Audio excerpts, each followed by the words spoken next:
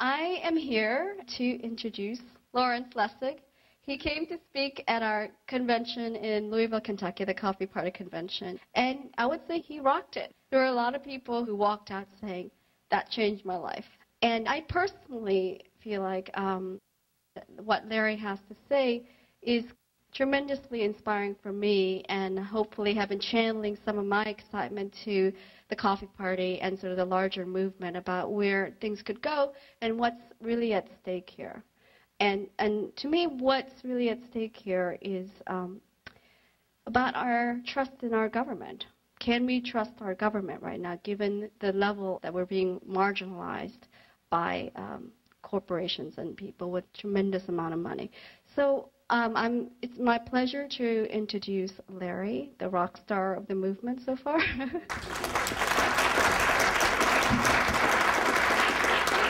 so let me say that if the movement has for its rock star a law professor, we're in real trouble. Um, so I want to start by thinking a little bit about money in the wrong places. Right? I don't mean money, I mean money in the wrong places. So, for example, one of the most amazing things about the many amazing things about the growth of a fetus is the timing of various stages in the fetus's development. In one particular bit of this timing is that at a moment in the development of the fetus, or a period of time, the development of the fetus, the fetus is very vulnerable to estrogen. Estrogen can be extremely damaging to the development at these moments. And the body, the woman's body, obviously, creates a barrier during those times that protects the fetus from the effects of estrogen. Now, in the mid 1990s, this man, Professor Frederick vom Saal, began to pursue a question. The question was Did the body respond in the same way to man made estrogen? Did it likewise block man made estrogen or estrogenic compounds from the fetus? And the answer he discovered uh, was no. Man made estrogenic compounds seeped into the space where the fetus was developing, and this produced in him a significant amount of concern. And so he launched a project to test on mice. I know, poor mice, but that's the way it is. We test on mice um, to see whether the effect of this leakage would be damaging to the fetus. And the answer to those inquiries was a four letter word V bad. Very, very bad. The effect, as he described it, was large, and in fact, it reflects current disease trends in the human population if you imagine the human population having the same kind of effects that we saw in the mice, then you would see consequences like reduced sperm counts to spontaneous miscarriages, prostate and breast cancers, degenerative brain diseases, attention deficit disorders, to obesity and insulin resistance, which links it to type 2 diabetes. Man made estrogenic compounds, in particular, this chemical, I'm not even going to say what it is because we know its word is BPA, BPA. Now, BPA, it turns out, has a posse out there, an industry. Interesting to defend its continued use in basically every single bit of plastic or surfaces that we are exposed to in our life.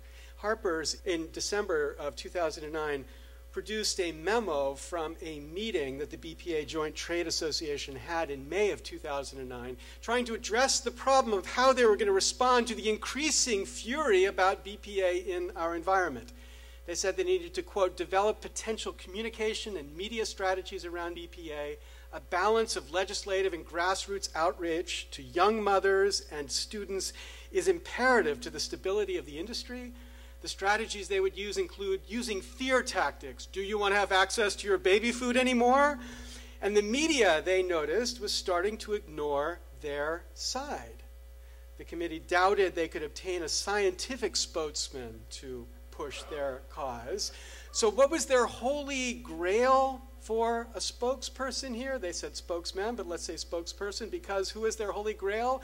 A pregnant young mother who would be willing to speak around the country about the benefits of BPA.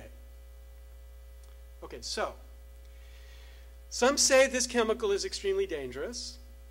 Some say it's safe. And in fact, if you look at the research, it's divided.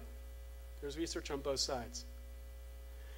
But when you divide the research in a very particular way, distinguishing out industry funded research from independently funded research, the numbers are quite startling. Industry funded research, 100% of it concludes there is no harm caused by BPA. In the independently funded research, however, 14% finds no harm, and 86% of the independently funded research finds harm flowing from the exposure to BPA.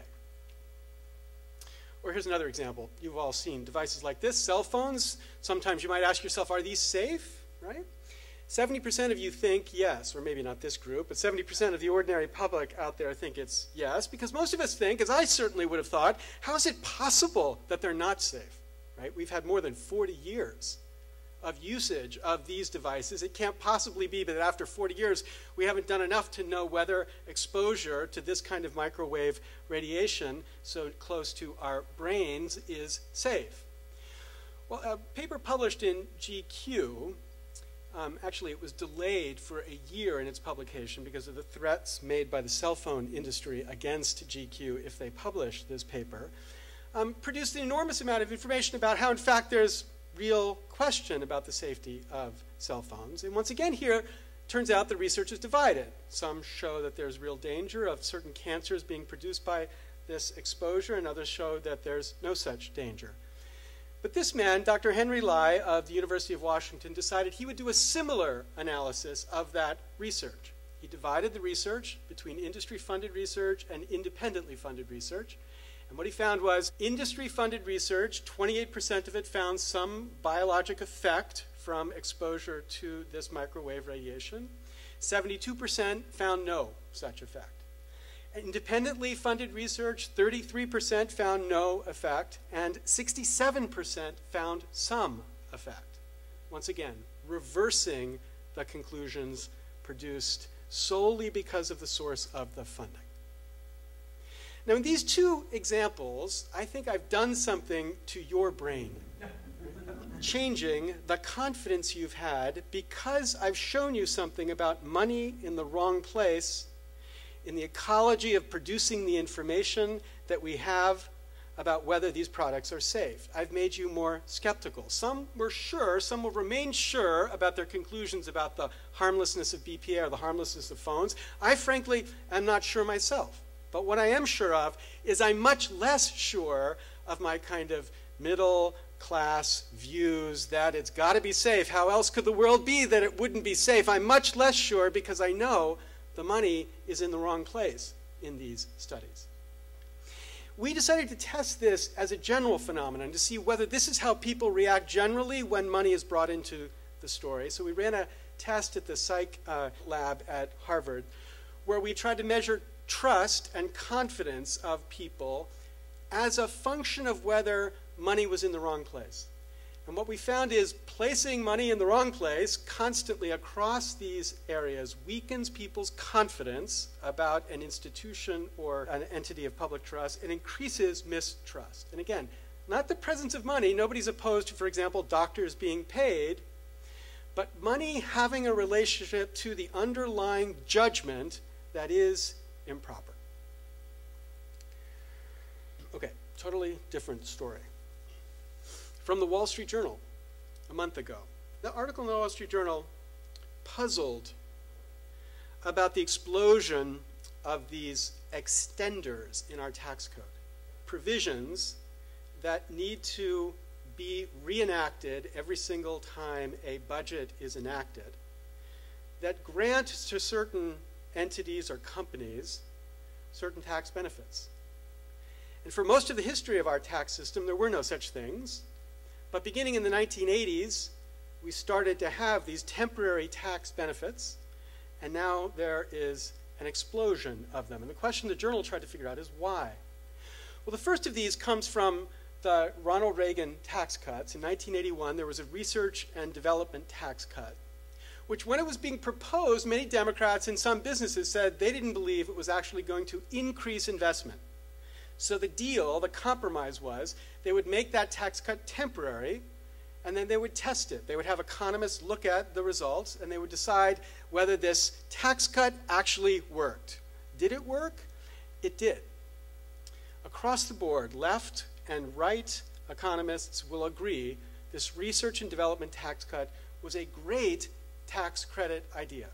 It actually has exactly the kind of effect we want tax cuts to have. It spurs investments, and so it made sense that we have this in our tax code. It made sense absolutely, if there's anything in our code that makes sense, this is one that makes sense. But the puzzle here is the tax credit is still temporary. 1999, there was a group of congressmen that tried to make it permanent. That failed. They couldn't make it permanent, even though every single member of the committee voting on it actually supported the tax credit, thought it was the greatest idea since tax sliced bread. And just yesterday, the Institute for Policy Innovation wrote about how Congress has now once again just belatedly extended this R&D tax credit and once again questioned why it was. This was perpetually temporary. What explains it? Well, as they explain at the bottom of their little memo here, when it gets extended, it's always preceded by a quote series of fundraisers and speeches about the importance of nurturing innovation. Congress essentially uses this cycle to raise money for reelection, promising industry more predictability the next time around. Rebecca Kysar professor of law, wrote about this in this piece in the Georgia Law Review in 2006. She talks about this tax cut in particular. She said the principal recipients of the research credit are large U.S. manufacturing corporations. And she says these businesses are more than willing to invest in lobbying activities and campaign donations to ensure continuations of this large tax savings. So understand the dynamic that's going on here because it's a dynamic that describes exactly how Washington works. We have the architects of tax policy deciding where and how we should tax, taxing in a way designed, at least in part, for them to raise money to run for Congress. Not based on what makes sense or even what makes sense for the right versus what makes sense for the left. This is not a right left issue. This is solely about how do you facilitate shakedowns of those who you are taxing so that they will give you the money that you need, and then you, in return, give them the tax credits they are buying. And it's not just taxes. Al Gore, when he was vice president, was running a program that had as a project the objective of deregulating a certain area of the telecommunications industry. His senior staffer took this idea to the Hill. The response they got from the Hill was, hell no. If we deregulate these guys, how are we going to raise money from them. so the point is, we tax in order to raise money to run for Congress, not for our Treasury, and we regulate in order to raise money to run for Congress, not to find the right balance between free markets, unregulated, and regulated markets guided by government policies. And the question here is, what is this influence here doing to our democracy? What is the influence of money in the wrong place here doing to our democracy? Now, the American people have a very clear view about the answer to that question. Just last week, we commissioned a study from this group, the Global Strategy Group, that did a national survey, and the national survey concluded that 75% of Americans believe money buys results in Congress. 75%. Among Democrats, it's a little higher right now, 81%. Republicans, it's 71%. But I can tell you, because I've seen similar surveys before the Republicans took over, that when the Democrats controlled Congress, the numbers were reversed. But even if there's slightly more for the party out of power, they are always consistently extremely high. If we as Americans agree about any one thing, we agree about this. We agree that money results in Congress. Now, we believe this because we see all sorts of craziness in what government does that can be explained only by the money. And the most prominent, the most disgusting example of that is the extraordinary story that we are just as a nation coming to understand fully around the Wall Street debacle that took our economy over the cliff and produced the Great Recession. Now, there are a lot of theories about what caused this. Um, of course, Rick Santelli launched the Tea Party by saying it was the losers who caused our problem, as he ranted against the losers who Barack Obama was trying to help by giving some mortgage relief. But I think any sane view about what caused this collapse was an extraordinary pattern of gambling by Wall Street banks. And why did Wall Street banks gamble the way they did? There are two reasons. Number one, tied to deregulation, and number two, tied to a particular kind of re regulation. So, first, deregulation, a project that began under Bill Clinton's first uh, term when Bill Clinton decided he needed to convince Wall Street that the Democrats could love banks as much as the Republicans do. A project that led in 1999 to the repeal of the Glass Steagall Act, which meant that banks could now be gamblers. They were permitted to engage in risky investments, just like an investment bank could, and still be considered a bank. And then in 2004, the SEC removed all limits on the leverage that these investment bank banks would be um, playing with, meaning they could gamble with other people's money. They borrowed the money they were gambling with and they leveraged it sometimes 33 to 1. Now, that sounds like a, if you're not financial, it sounds like a weird number, but here's what it means 1% drop can practically wipe out all of the assets of the bank. 1% drop in the value of the assets when it's leveraged 33 to 1. And so, what did these banks do when these two changes were made? One, that they were permitted to gamble, and number two, they were permitted to borrow all the money in the world to gamble. They gambled. Right? Now, many people look at them and they say, these guys were just idiots. They were not idiots. What they did made perfect sense for them, given a second change, which our government brought about over the last 20 years a certain kind of re regulation. The re regulation was an effective guarantee that our government gave these banks that when the bubble that they produced blew up, they would get a bailout. So that it was a heads, they win, tails, we lose gamble. They gambled, they won. They gambled, they lost, we paid them off. They got that bailout. These banks that became too big to fail were determined reasonably from any public policy perspective as too big to fail, meaning we won't let them fail.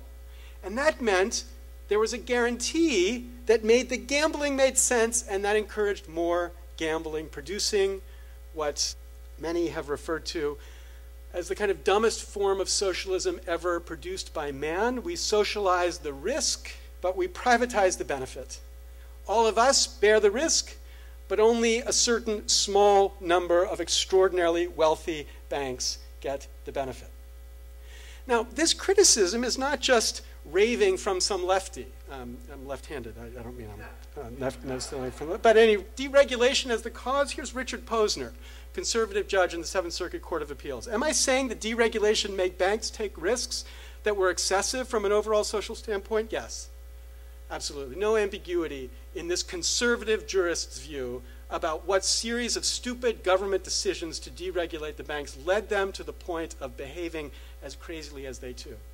And about this issue of too big to fail, I mean, what we know is that these banks have just gotten bigger. The guarantee that they have because they've gotten bigger is that they get loans from the private market cheaper than small banks do. Why do they get loans cheaper? Because the market figures that these banks can never fail. So their risk is lower than the risk of a small bank. So that because we've allowed them to get as big as they've gotten, they get an effective subsidy from this lower interest rate. So Hart and Zingales, two right wing libertarian economists, said the spread had grown to 0.49%, meaning that's the lower interest rate that they effectively got. For the 18 American banks with more than $100 billion in assets, this advantage corresponds to a $34 billion subsidy per year. Now, as these libertarian economists say, ending this system of too big to fail is crucial. Zingales, writing in the Cato uh, magazine, said if you have a sector where losses are socialized but where gains are privatized, then you destroy the economic and moral supremacy of capitalism, assuming people think there is an economic and moral supremacy of capitalism. If they do, you destroy it, so long as this is the system you allow. So, the one thing we should have done in the banking reform process that we've just gone through, the one thing that should have been accomplished through this law was a reform to end this too big to fail reality. Did that reform do that? Did it end the too big to fail? No. As you all know, it didn't. And why didn't it? Why would it not do that when it's the most obvious thing to do? Well, contributions from people who supported keeping the banks the size that they were were $30 million compared to $10 million to those who wanted reform. Lobbying was $105 million versus $5 million of those who wanted reform. On October 2009, there were 25 times the number of lobbyists on Capitol Hill fighting to oppose reform, more than 1,500 lobbyists, as there were lobbyists on Capitol Hill supporting fundamental bank reform. So we have bad policy here, a product of money in the wrong places. America has lost faith in this government. 11% of Americans have confidence in Congress. That number means 11%. Right? I've said this a million times before. There were more people who, who supported the British crown at the time of the revolution than who have confidence in our Congress today. When does an institution go bankrupt from a moral public perspective if it's not at 11%? That is the state of our democracy. And one year ago, this institution, the Supreme Court, in its decision in Citizens United, made that much worse. In its decision that the First Amendment means that corporations have an unlimited right to speak independently, it exacerbated the current economy of influence that leads people to believe that money buys results in Washington. The prediction was there would be an explosion in spending by independent expenditures, and when compared to the last off year election, indeed there has been such an explosion. At least 330% increase over the last off year election. At least that's what we know, because of course, despite the Supreme Court's assumption that all of this would be disclosed, in fact, all of this is not necessarily disclosed, and we have no real way to know who or how much has been spent. Now, the most striking thing about this opinion, I think, is trying to understand why Justice Kennedy, the author of the opinion, thought that this wouldn't be a problem. Critical passage in the opinion, he says The appearance of influence will not cause the electorate to lose faith in our democracy. You know, here's a lawyer telling you about cause and effect in how people will have faith in their democracy. And so you want to know, well, why would you think that, Justice Kennedy?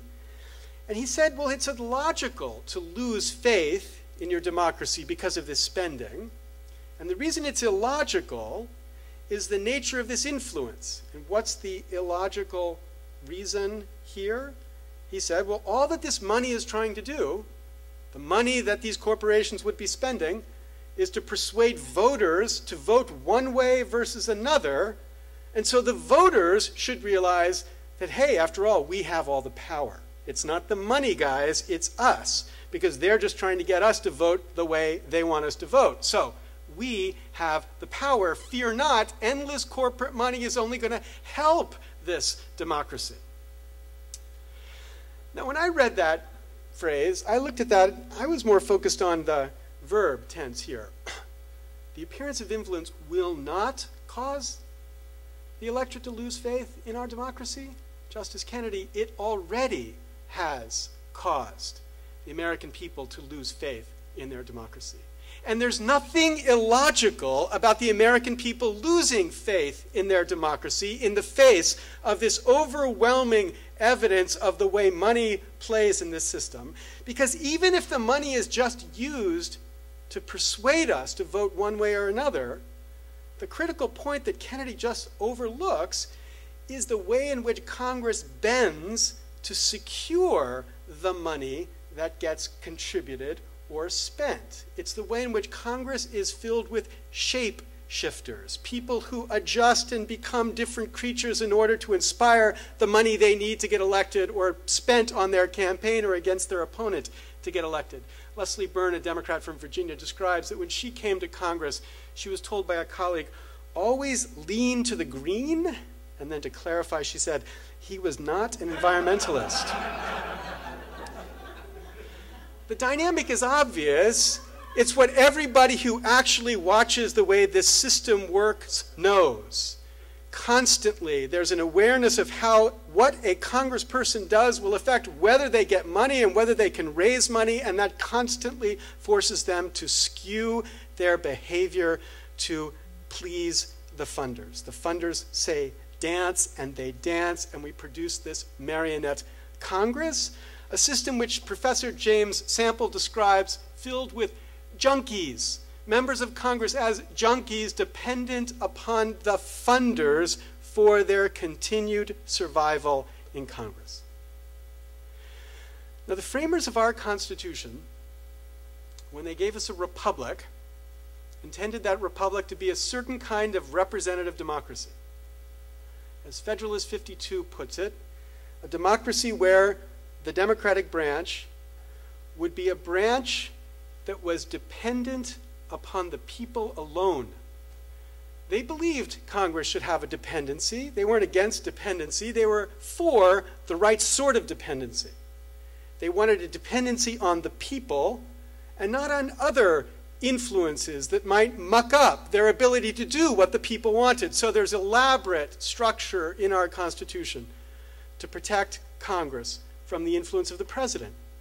President, like the king the framers feared, might be able to exercise too much influence over Congress and then corrupt Congress, stopping them in their objective to focus on the people. The Constitution has a clause that forbids gifts from princes and foreign kings or foreign states without Congress explicitly permitting it because they didn't want these other forces influencing Congress, building dependencies inside of Congress that drew Congress away from what Congress should have been focused on. They wanted one dependency, the dependency on the people alone. But that dependency has been displaced in the current Congress that we have today. There's no more dependency on the people as the exclusive dependency our Congress has. Instead, there's a dependency on the funders. And if anybody is unsure about this, let me state it as clearly as I can. The funders are not the people. What the funders want, right, please, is not what the people want. In study after study, when you look at what funders support for policy, when it conflicts with what the people support for policy, policymakers go with the funders and against the people. In one study by Professor Gilens, 10% of the public supporting something can get it passed so long as they are the funders, even if 90% of the public opposing it cannot stop it from getting passed if they are not the funders. This system of funding has corrupted this Congress. It has bent it, it has queered it, it has distorted it from the intended dependency the framers had, a dependency on the people alone. It has corrupted it, not by bribery. It's not secret cash that's being passed around by members between special interests and Congress people. They used to have safes inside of every congressperson's uh, office where bags of cash would be kept because that was the way of the old quid pro quo corruption system. That's not our system. This is the cleanest Congress in the history of Congress. We don't have bribery as our problem. What we have is in plain sight corruption. It's the corruption everybody is open about and talks about openly. It is the corruption which is the system, which is how people believe politics must run. So we are entitled Justice Kennedy. It is perfectly logical, Justice Kennedy. You have to be insane not to believe, Justice Kennedy, that this Congress is corrupt in this fundamental sense of corruption that our framers plainly would have recognized. What do we do about this?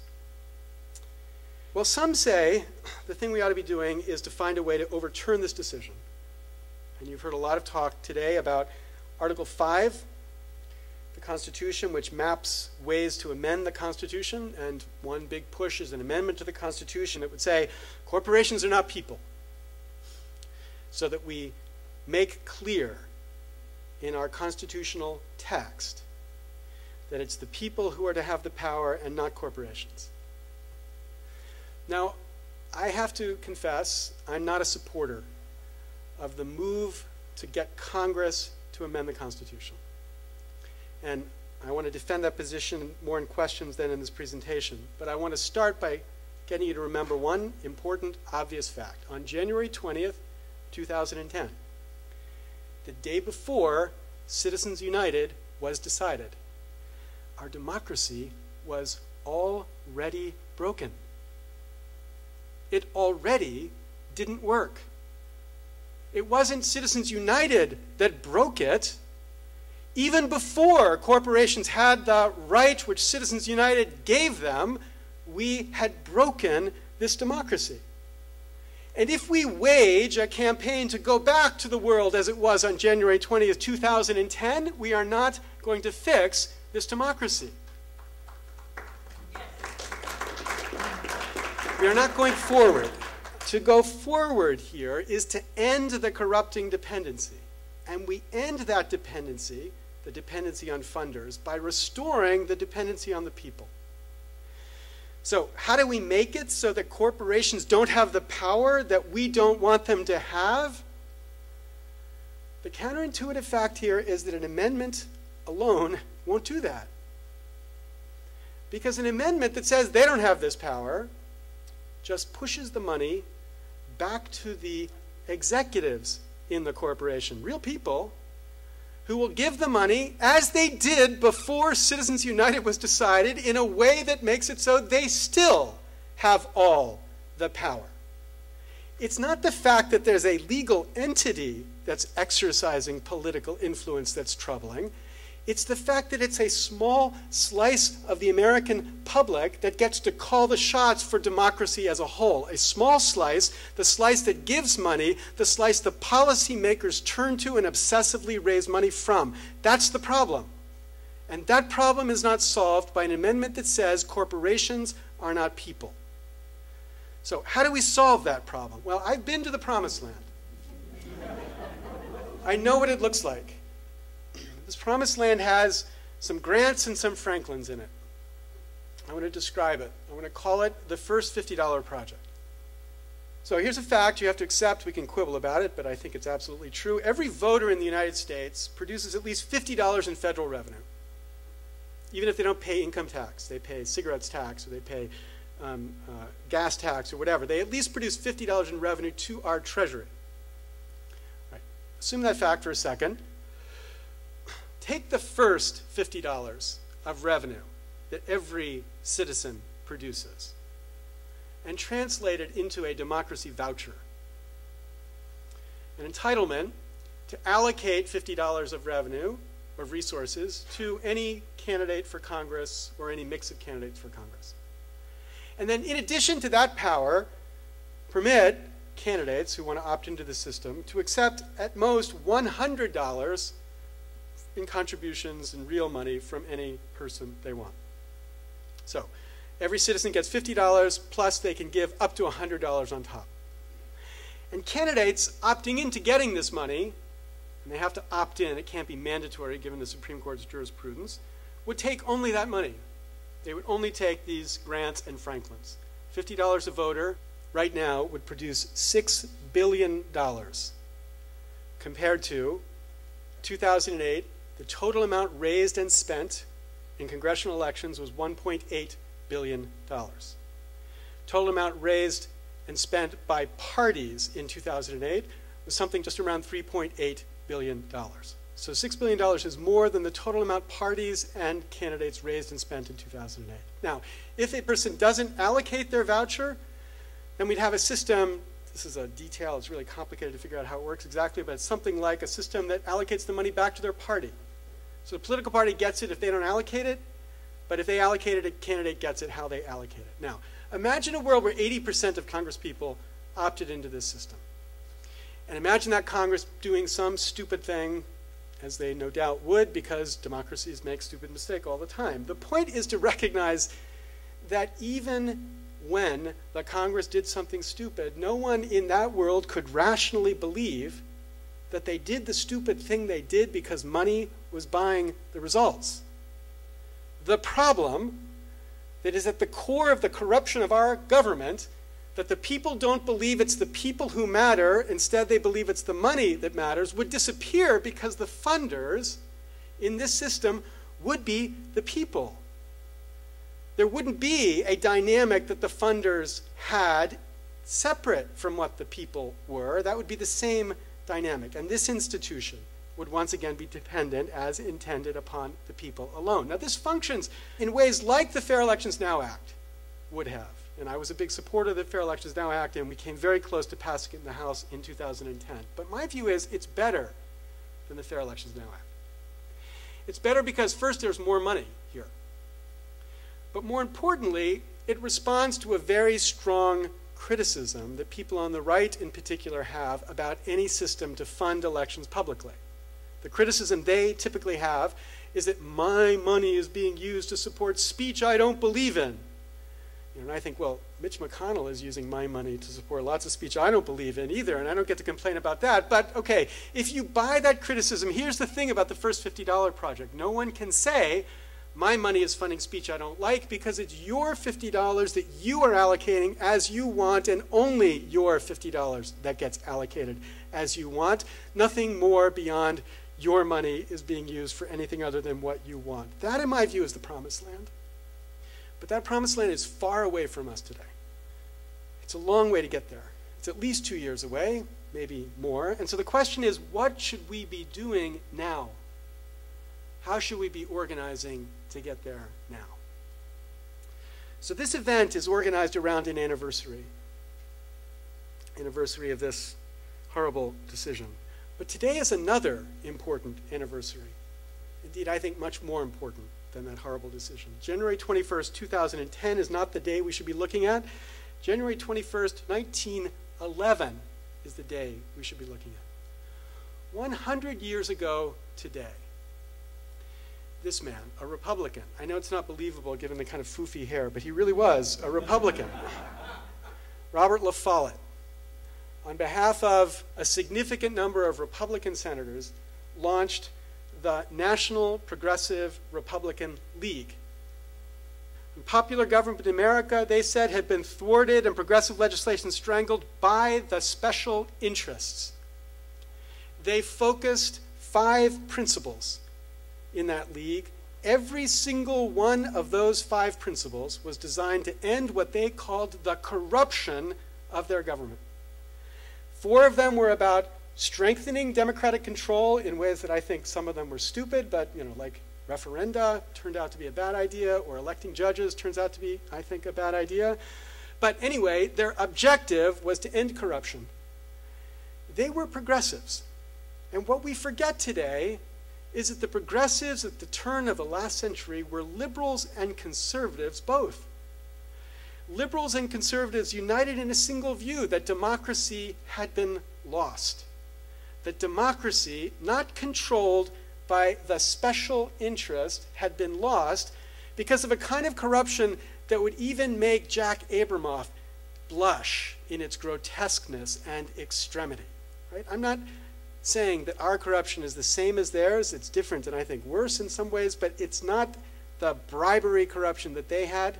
But still, that bribery corruption was what they were fighting against. So this Republican, La Follette, after launching that league, then challenged the sitting president, Taft. And his claim against Taft was that Taft, appointed, selected basically, by Teddy Roosevelt, had lost Teddy Roosevelt's reformer ways. As Roosevelt would say in 1912 The Republican Party is now facing a great crisis. It is to decide whether it will be, as in the days of Lincoln, the party of the plain people, the party of progress, the party of social and industrial justice, or whether it will be the party of privilege and of special interests, the heir to those who were Lincoln's most bitter opponents, the party that represents the great interest within and without Wall Street, which desires, through their control over the servants of the people, to be kept immune from punishment when they do wrong, and to be given privileges to which they are not entitled. 1912, this statement was made. And so he challenged the weak, stand pat Republican Taft, and that weakness inspired an extraordinary political contest. In 1912, four candidates ran for president. Eugene Debs, the most successful socialist candidate ever to run for president, in 1920 he would run from prison and receive the most votes that any socialist ever received. Taft, who was in his first term, running in the second term. Teddy Roosevelt, who came back from his exile, imposed upon himself to run again in a bull moose party because he didn't believe Taft had achieved the objectives he had set for him, and Woodrow Wilson. Now, the thing to remember about Roosevelt and Wilson is that both were self described progressives. They both said they were for the progressive cause. 70% of the American people voted for one of those two people. Woodrow Wilson beat Teddy Roosevelt, but 70% stood up for the idea that democracy had been corrupted and that corruption has to end. Now, the thing we have to remember is that change only ever happens this way. It's easy for us on the left to feel entitled and righteous about how right we are about so many of the issues that now face our government, but what we must learn from that past is how to speak more broadly and to include more, not by compromising on our principles. I'm not someone who believes that there's no real difference between the left and the right. There's a real difference between the left and the right, and I want to defend the values of the left against principled people on the right. But what we need to recognize is even though we have different objectives, we have a common enemy. We have a system that defeats change on the left and change on the right. And we need to build alliances on the right where our principles match. And my view is the left should be doing this now. The left should be doing this by convincing and helping to convince the other side that this system is rigged both against them and against us. Right? So, for example, when the Tea Party Patriots launched a movement to fight earmarks, we should have joined them in that movement. Because even though Barack Obama was right that earmarks are a tiny percentage of the budget, it completely missed the point. Earmarks are the basic infrastructure for the system of corruption that Washington has become and earmarks feed this system as directly and powerfully as anything does. And if the right had achieved truly abolishing the earmarks, our objectives would be one step closer to being achieved. And when the Ohio Tea Party pushed very hard to get the Republicans to support the Office of Congressional Ethics, the only office that actually has the power or the will to show when Congress people have violated the law, we should have been there supporting them too, loudly and strongly, because it was the right thing for them and us. We should be pushing ideas that all can agree on here that get us to a place where more Americans recognize the corruption this democracy has become and how we're going to fight it. We're not going to have agreement on every issue. But it is possible to build a coalition across the different grassroots movements that exist and exert themselves now for progress. Progress here meaning to end this corruption as quickly as we can. But I want to end today with uh, uh, um, a part of the story which is extremely meaningful to me and um, I think can be meaningful for inspiring this movement. Um, and it's a story that starts with some fantastic shoes, Keds, which are made by Stride-Rite, which is started by Arnold Hyatt, who's a very shy soul. This is the largest picture that exists on the World Wide Web of Arnold Hyatt because he's very shy. But Arnold is a loyal Democrat. And in 1996, he was the second largest contributor to the Democratic Party. So in 1997, Bill Clinton invited Arnold Hyatt and 30 other fat cats to a dinner at the Mayflower Hotel, a dinner for these fat cats, to give them a chance to tell the president what he should do in the balance of his administration. We don't have any actual photos there uh, from the events. Everyone got up and said their little piece to the president, and Arnold Hyatt was the last. I don't actually know exactly what it looked like, but I kind of envision it something like this. So Arnold stands up to address the president, and he says, Mr. President, I know you're an admirer of Franklin Delano Roosevelt. So I want you to put yourself in Roosevelt's shoes in 1939 when he had reluctantly come to the conclusion that he had to convince a reluctant nation to wage a war to save democracy. Because Arnold said, Mr. President, you too have to convince a reluctant nation to wage a war to save democracy. Not a war against fascists, a war against fat cats, people like us. People who believe that merely because we have money, we have the right to control how the democracy works. People who believe we're entitled to pick up the phone and get the president on the other side. Now, as you can imagine, in this room filled with fat cats, there was a little bit of silence after Arnold was finished with his speech. The only published account we have of the evening reports that Clinton's response effectively slashed Hyatt to pieces, humiliating him in front of the group. And I think we have to recognize that 15 years later, it's Arnold Hyatt who was right. That we have to convince a reluctant nation to wage a war to save democracy. And if Lincoln is an inspiration here, we could call it, in the spirit of this group, a great civil war in the sense of civil, as in a war we fight civilly to get other people to understand our ideas and our cause. Test this war is whether, as Lincoln put it, that nation or any nation so conceived and so dedicated can long endure. It is their job to be dedicated to the great task remaining before us. What was that task? It was the task of proving that government of the people, by the people, for the people, shall not perish from the earth of, by, for the people. We have lost that republic. We have a republic of, by, and for the funders.